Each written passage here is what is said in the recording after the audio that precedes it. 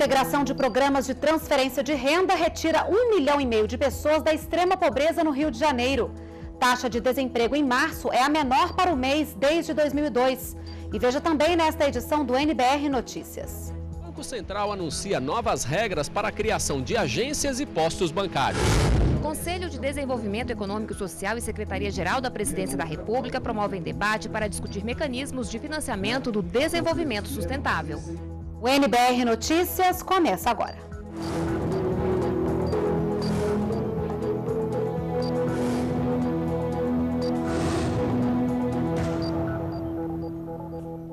Olá, boa noite.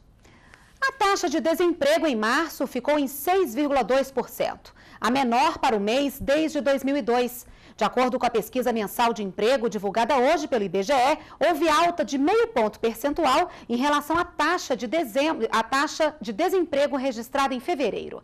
Na comparação com março do ano passado, o número de brasileiros em busca de uma vaga no mercado de trabalho ficou praticamente estável. E já o rendimento médio de quem está empregado ultrapassou R$ 1.700, o valor mais alto para o mês de março desde 2002. O Banco Central divulgou hoje algumas alterações sobre a criação de novas agências bancárias. Uma delas diz que bancos que passarem por processo de fusão vão ter que compartilhar ganhos com os clientes. A partir de agora, desaparecem as denominações de posto de atendimento cooperativo ou posto avançado de atendimento, por exemplo. Continuam existindo as agências com caixas e atendimento presencial, e na entrada dos postos de atendimento deverá estar a lista dos serviços realizados ali e o endereço dos postos que realizam outras transações bancárias. De acordo com o Banco Central, não se pode obrigar os bancos a oferecer todas as operações em todos os postos. Com a regra mais flexível, o governo acredita que os bancos devem abrir mais unidades, melhorando o atendimento à população. Essa flexibilidade que nós entendemos que melhora para o cliente, claro, porque nós estamos estimulando os bancos a terem mais liberdade de instalar postos. Antes ele tinha um custo maior para instalar uma agência, não, não precisa instalar uma agência. Se você acha que o seu perfil do cliente aqui basta um posto, você vai lá e basta um posto para instalar. Também foi anunciada uma nova regra para operações de compra de um banco por outro ou para quando duas instituições financeiras se unem. Na análise da operação, o Banco Central poderá recomendar um acordo para que os clientes também se beneficiem dos lucros gerados pela compra ou fusão. Como ele vai ter um ganho com aquela operação, esse ganho, evidentemente, vai resultar em, em, em, em aumento de receita para, para eles e que eles é, dividam, compartilhem com, as, com os usuários dos serviços financeiros esses ganhos, né, reduzindo tarifas, pode ser, melhorando o atendimento ao público, melhorando a qualidade do atendimento. Representantes do governo, da sociedade e parlamentares se reuniram para discutir formas de financiar o desenvolvimento sustentável, aliando crescimento econômico e respeito ao meio ambiente.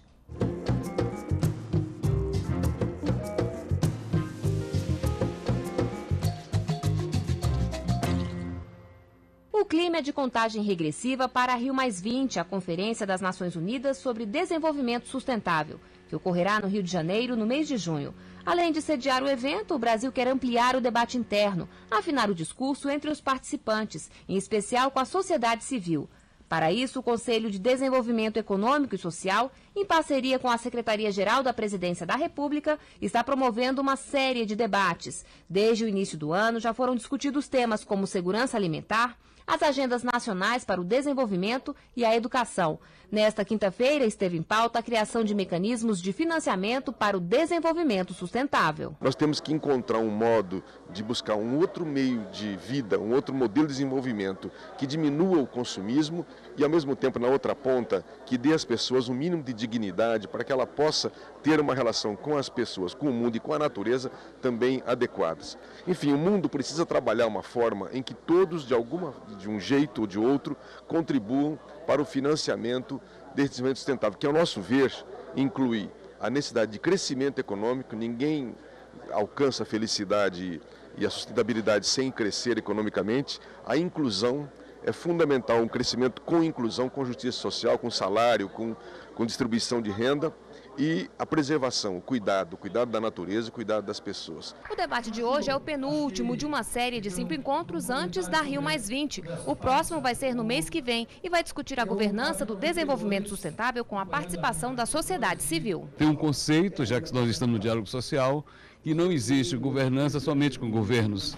A governança implica uma forte e efetiva participação de toda a sociedade, sejam eles empresários, trabalhadores, intelectuais, religiosos, jovens, sobretudo, porque a questão do, da sustentabilidade, a questão das mudanças climáticas, ela afeta profundamente as futuras gerações. Propostas para as futuras políticas públicas da agricultura familiar e da reforma agrária foram debatidas durante a Conferência Nacional de Assistência Técnica e Extensão Rural, que terminou agora há pouco em Brasília. A repórter Daniela Almeida está lá e tem as informações. Daniela, boa noite. Boa noite, Renata. Ao todo foram analisadas 152 propostas vindas de conferências temáticas municipais e também estaduais. Durante esses três dias da conferência, as propostas foram divididas em cinco grandes eixos. Para fazer um balanço sobre, sobre essa primeira conferência nacional, eu converso agora com Laudemir Miller, que é secretário nacional de Agricultura Familiar do Ministério do Desenvolvimento Agrário. Laudemir, que balanço o senhor faz então dessa conferência que terminou há pouco? Boa noite. Nós estamos fazendo um balanço muito positivo. Essa conferência serviu para a gente discutir com o conjunto da sociedade brasileira, especialmente os agricultores e as agricultoras do meio rural, os agricultores familiares, como melhorar o processo de assistência técnica na agricultura familiar. Nós discutimos uma série de propostas que agora serão analisadas pelo governo federal, também pelos governos estaduais e inclusive pelos governos municipais. Então, um balanço muito positivo. Nós reunimos nesse processo mais de 40 mil pessoas, agricultores e agricultoras que se envolveram nesse processo de construção e avaliação da nossa política de assistência técnica e extensão rural. E o que ganha o agricultor familiar? Para o agricultor familiar, o nosso objetivo é melhorar a qualidade da assistência técnica que ele recebe. Hoje nós temos um conjunto de políticas públicas, nós temos crédito, nós temos políticas de compras da agricultura familiar, temos seguro agrícola e tudo isso é levado até o agricultor, essas políticas, por meio dos técnicos, dos extensionistas que levam essas políticas e acompanham o agricultor no trabalho, na produção e na comercialização da agricultura familiar. Então, qualificar esse serviço de assistência técnica, de acompanhamento técnico à agricultura familiar, melhora a vida e a condição do nosso agricultor, que vai produzir melhor, com mais qualidade e também vai ter mais condição de comercializar. Quantas propostas foram aprovadas aqui no final? Nós aprovamos mais de 150, é, mais de 150 propostas nos mais diferentes temas que dialogam tanto com a capacitação, dos técnicos e principalmente um tema que é muito importante. Existem ainda muitos agricultores que não têm ainda assistência técnica. Nós discutimos aqui na conferência como levar a assistência técnica, fazer com que a gente tenha mais capacidade e mais técnicos a campos para melhorar e ajudar o nosso agricultor a se desenvolver, produzir mais, produzir melhor, principalmente produzir alimentos para o nosso país que vive um momento de aumento de consumo pelo aumento da renda. Muito obrigada por sua entrevista, secretário. Mais informações sobre a primeira Conferência Nacional de Assistência Técnica e Extensão Rural estão disponíveis no site do MDA, o Ministério do Desenvolvimento Agrário, www.mda.gov.br. Renata. Obrigada pelas informações, Daniela. E são mais de 500 mil produtores atendidos pelo Programa Nacional de Assistência Técnica e Extensão Rural na agricultura familiar e também na reforma agrária, o Pronater. O programa auxilia o agricultor a melhorar a produção e a qualidade de vida. Veja o exemplo de alguns deles na reportagem de Maria Kenup. O programa de assistência técnica atende 560 mil agricultores familiares em todo o país. E seu Pantaleão é um deles. Neste terreno de dois hectares, ele e o filho José Raimundo plantam e colhem milho, machixe, quiabo e pimenta de cheiro. Mas nem sempre foi assim. Pai e filho contam que perderam muitas plantações porque o terreno inundava na época da chuva. Quando você via que a plantação tinha ido embora, qual era o sentimento? Era de tristeza, né? Porque a gente fazia com tanto bem cuidado, assim, bastante vontade, mas na hora da produção faltava. Quando a família procurou os técnicos do Pronater, tudo mudou. Eles aprenderam a tratar o solo, inclusive fazendo a drenagem do terreno. e o sistema de irrigação por gotejamento. O resultado das medidas, pura satisfação. Porque a gente olha assim, não, está fazendo mais, trabalho mais ainda. Está feliz? Graças a Deus, e muito, não tem como reclamar não. Agora é só trabalhar e olhar o movimento e passar mercadoria no comércio. é um exemplo bastante grande que a dificuldade que a gente tinha melhorou a gente hoje vive, sou pai de família, meu pai também, e a gente vivemos tudo daqui de dentro, tirando a renda, produção, abastece a feira, a gente leva para a SEASA. Desde 2010, quando foi sancionada a Lei de Assistência Técnica e Extensão Rural no país, o governo investe no processo de fortalecimento das entidades que prestam esse tipo de serviço. Atualmente, são 25 mil técnicos trabalhando no campo, orientando os produtores. É um programa que organiza as ações, as metas, que quantifica né, e qualifica a oferta do serviço do governo federal. Para participar do Pronater, basta o agricultor familiar procurar uma entidade de assistência técnica em seu estado ou município, ou então acessar o site do Ministério do Desenvolvimento Agrário. A Marinha trocou hoje o comando da Secretaria da Comissão Interministerial para os Recursos do Mar. A comissão define políticas públicas de pesquisa, como as que eram desenvolvidas na base Comandante Ferraz, na Antártica.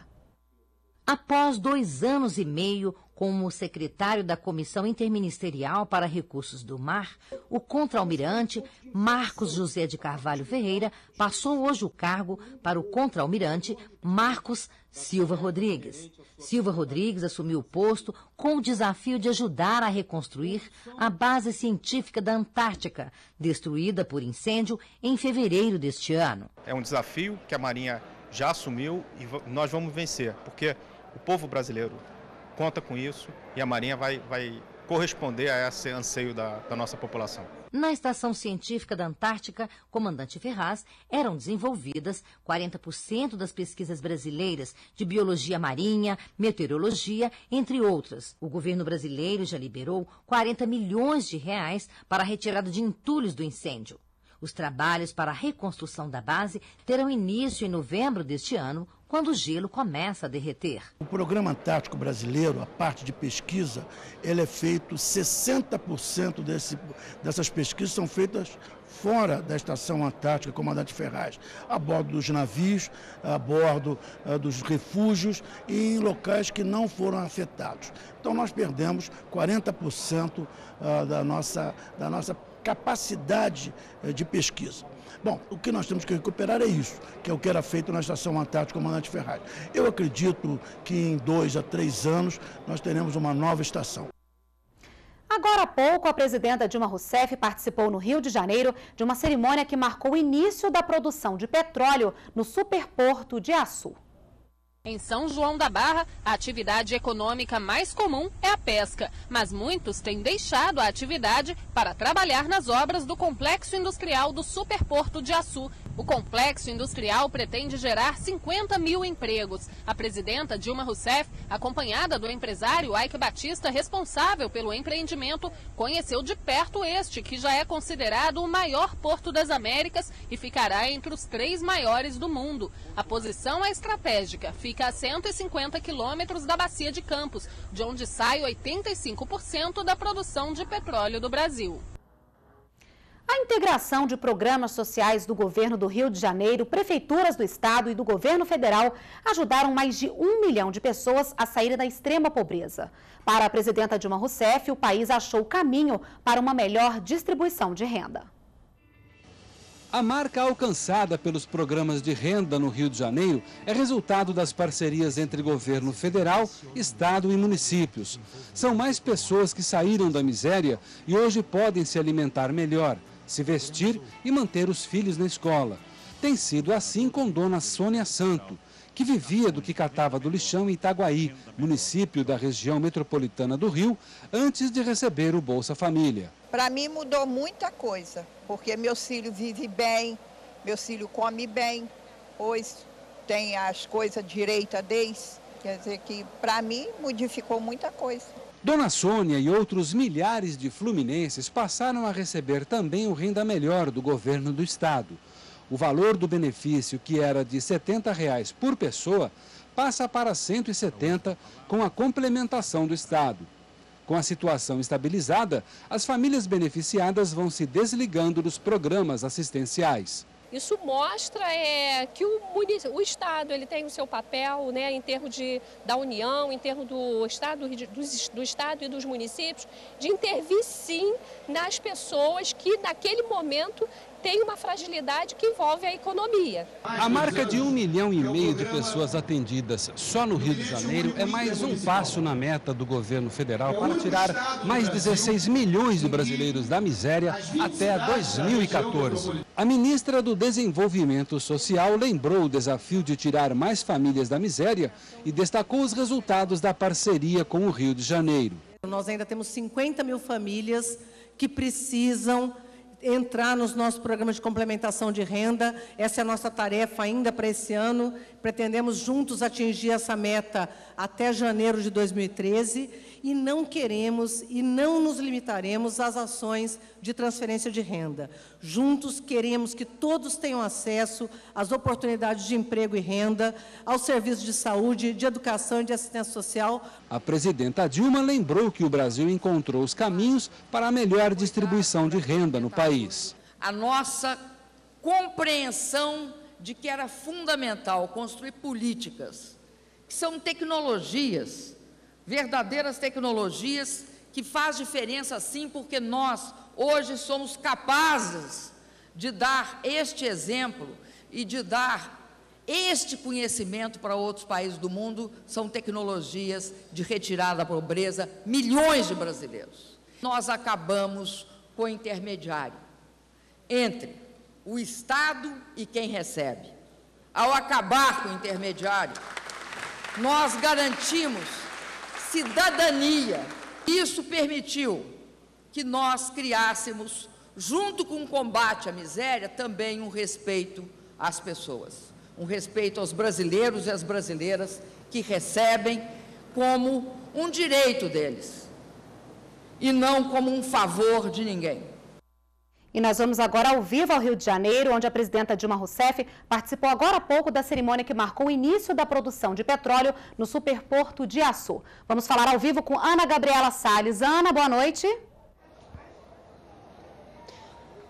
Renata. O evento terminou agora há pouco e a presidenta Dilma Rousseff, no seu discurso, destacou a importância de um empreendimento privado nacional desse porte, até porque a OGX é a primeira petrolífera privada do país e deve ser capaz de produzir 40 mil barris de petróleo por dia até o fim desse ano. A presidenta também falou da importância de trazer tecnologia de última geração para o Brasil e do papel que a Petrobras já desempenhou nesse processo. Para Dilma Rousseff, esse é um momento promissor promissor para o Brasil. E o desafio agora é continuar buscando investir na formação profissional dos jovens na área de ciência, tecnologia e inovação. Além disso, a presidenta Dilma Rousseff falou que é preciso unir o desenvolvimento do país à qualidade de vida das pessoas. Mais cedo, ela visitou as obras aqui das instalações de terminais do Superporto de Açu, aqui em São João da Barra. Hoje é Dia Nacional de Combate à Hipertensão, um mal que já atinge 22% da população adulta no Brasil. Para quem ainda não sabe, o programa Saúde Não Tem Preço do Ministério da Saúde distribui de graça remédios contra a doença em farmácias populares e conveniadas. É só apresentar o CPF, documento com foto e a receita médica. Desde 2011 foram quase 7 milhões de pessoas atendidas. Para saber o endereço das farmácias, basta acessar o site do Ministério da Saúde. Para tornar a igualdade racial uma realidade em nosso país, o governo criou em 2010 um estatuto específico para tratar do assunto. Essa semana, o grupo de trabalho responsável por avaliar o que já foi feito divulgou um balanço. O repórter Ricardo Carandina tem ao vivo mais informações. Carandina, boa noite. Boa noite, Renata. Boa noite a todos. O grupo de trabalho que foi instituído em julho do ano passado para implementar as ações propostas pelo Estatuto da Igualdade Racial e que apresentou agora os trabalhos foi constituído por integrantes de 13 ministérios. Para falar sobre os resultados desse estudo, a gente vai conversar com o assessor da Secretaria de Promoção de Políticas da Igualdade Racial, a CEPIR, que é o Marcos William Bezerra de Freitas. Marcos, uma das conclusões desse estudo é que a grande maioria, 80% das ações propostas pelo Estatuto não depende de regulamentação. O que é que falta para essas ações entrarem efetivamente em prática? Boa noite. Boa noite. Então, essa foi uma discussão muito importante do grupo, porque o grupo esgotou de forma muito considerável essa questão da regulamentação do estatuto. O que depende, na verdade, do estatuto para mais de 80% é, do que prevê o estatuto é de estratégias de implementação. E nesse sentido, o grupo propôs 34 estratégias direcionadas a diversos atores, tanto governo federal, estados e municípios, é, iniciativa privada, poder judiciário, ou seja, são estratégias que visam impulsionar e maior efetividade ao Estatuto para garantir a sua implementação em todo o país. E nesse caso, bem, o que, o que, que falta para essas, essas ações entrarem em prática efetivamente? Quer dizer, é uma articulação entre governos, entre esferas de governo, o que é está faltando? Então, na verdade, essas é, estratégias, elas passam, por exemplo, desde a da criação de um guia de implementação do Estatuto em estados e municípios, que é o que a CEPIR vai elaborar, exatamente para direcionar estados e municípios para a atuação dos seus gestores em relação à promoção da igualdade racial, passa por pactuação, por articulação institucional e são vários caminhos que a CEPIR está adotando em parceria com esses ministérios, esses 13 ministérios, mas também com os governos estaduais e municipal. E você podia citar para a gente alguns exemplos de ações que não dependem de regulamentação e que, portanto, já podem entrar em prática? Por exemplo, a política é, da saúde integral da população negra. Essa política é uma política que está prevista no Estatuto, ela está contemplada dentro do SUS e, portanto, ela já pode ser perfeitamente implementada. Não há necessidade de uma regulamentação adicional para pôr em prática essa política. Nesse caso específico, o que é que, o que, é que enfim, de que depende isso começar a ser executado? Na verdade, depende de uma articulação que já está sendo feita em relação ao Ministério da Saúde com a CEPIR. E foi celebrado um acordo de cooperação nesse sentido que define metas, que define resultados, exatamente para impulsionar a política. Agora, não é algo que depende de regulamentação, é algo que depende de ação e que já está sendo adotada no âmbito do Ministério da Saúde em parceria com a CEPIR. Tá ótimo, agradeço então aqui a participação do Marcos William Bezerra de Freitas e lembrando, Renata, que o sistema uh, Sistema Nacional de Proteção, ou melhor, Sistema Nacional de Promoção da Igualdade Racial, que é uma, uma, uma das ações propostas pelo Estatuto da Igualdade Racial. Esse sim depende de regulamentação e o texto base vai entrar para consulta pública provavelmente já no próximo mês de maio. Renata. Obrigada pelas informações, Carandina. E a antropóloga Marta Amaral assumiu hoje a presidência da Fundação Nacional do Índio. É a primeira mulher a comandar a FUNAI. A nova presidenta da FUNAI é antropóloga. Marta Maria do Azevedo Amaral ocupa a vaga deixada por Márcio Meira. Com 33 anos dedicados aos índios, ela afirmou durante a posse que vai continuar o trabalho desenvolvido pela antiga diretoria. É a consolidação dessa reestruturação da FUNAI, é a consolidação dessa mudança de conceito, é colocar em prática o plano plurianual que foi feito pela FUNAI e articulando todos os outros ministérios e órgãos do governo. Primeira mulher à frente da FUNAI, Marta Maria garantiu que as mulheres indígenas vão ter ainda mais direitos assegurados. Demandas absolutamente diversas dependendo da situação do local, da região em que ela se encontra, entendeu? Então, então desde de necessidade de documentação imediata, é, promoção de projetos comunitários. Amanhã é o Dia Nacional dos Trabalhadores Domésticos. E para discutir formas de valorizar e ampliar os direitos desses profissionais, representantes do governo, de empresas e de sindicatos se reuniram hoje em Brasília. Veja na reportagem de Daniela Almeida. Em vários lares brasileiros são as empregadas domésticas as responsáveis por lavar, cozinhar, limpar e até cuidar de crianças, enquanto os patrões trabalham fora. Essa é a profissão de Sueli há nove anos. Há seis anos, ela trabalha na mesma casa.